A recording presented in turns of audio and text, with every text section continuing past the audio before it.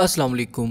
Black heads एक common skin condition है, जिसमें हमारे चेहरे, गर्दन और चेस्ट वगैरह पर छोटे छोटे बम्प्स बन जाते हैं। ये बम्प्स दिखने में डार्क या ब्लैक नज़र आते हैं, जिस वजह से इन्हें ब्लैक हेड्स का नाम दिया गया है।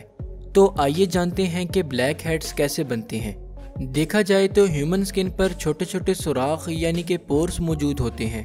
और हर पोर से एक हेयर ग्रो होता है, जिसके नीचे सिबिशियस ग्लैंड्स यानी कि ऑयल ग्लैंड्स मौजूद होते हैं, जो हेयर ग्रोथ के लिए एक खास ऑयल यानी कि सीबम की प्रोडक्शन करते हैं। अगर किसी वजह से स्किन हेयर्स और स्पेशियस ग्लैंड्स के एरिया में इन्फ्लेमेशन यानी कि सोजिश हो जाए तो इससे डेड स्किन सेल्स और सीबम सुराख पर जमा होकर इसे ब्लॉक कर देते हैं। और एयर से एक्सपोजर होने पर ये जगह ब्लैक या डार्क नज़र आने लगती हैं, जिसे ब्लैक हेड्स का नाम दिया जाता है। इसके अलावा स्किन पर एक्ने बैक्टीरिया की तादाद ज़्यादा होना ऑयल यानी कि सीबम और एंड्रोजन हार्मोन की ओवर प्रोडक्शन होना, और स्किन प्रोटीन कैराटिन की एबनॉर्मल प्रोडक्शन होना वगैरह भी ब्लैक हेड्स की वजह बनते हैं।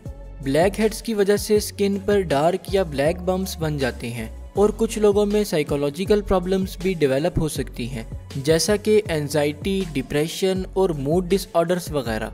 ब्लैक हेड्स को आमतौर पर स्किन एग्जामिनेशन के थ्रू आसानी से डायग्नोज किया जा सकता है, और इसके लिए स्पेशल टेस्ट की ज़रूरत नहीं पड़ती, जबकि ब्लैक हेड्स को ट्रीट करने के लिए ऐसी क्रीम्स जेल्स और पैड फॉर्म्स का इस्तेमाल किया जाता है, जिनमें ऐसे केमिकल्स मौजूद हों, जो बैक्टीरिया की किलिंग एक्सेसिव ऑयल की ड्राइनेस और बाइफोर्स डेड स्किन सेल्स की शेडिंग में हेल्पफुल हो।